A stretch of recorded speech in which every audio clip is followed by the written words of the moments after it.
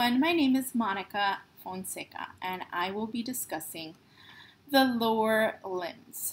Um, bear with me, and we will get through this. Okay, so within the lower limbs, we have 30 bones.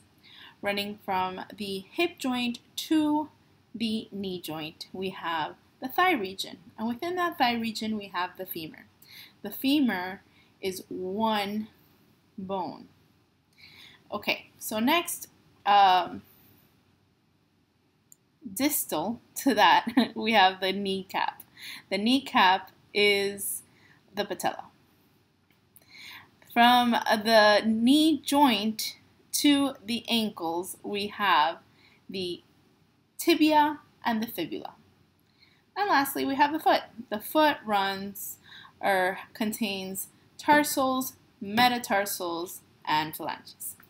So that's um, in general kind of a general gist of what's there.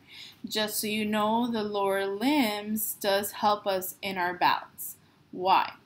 So it just carries the weight from our hip or pelvic area through our femur to our uh, knee and uh, through the tibia.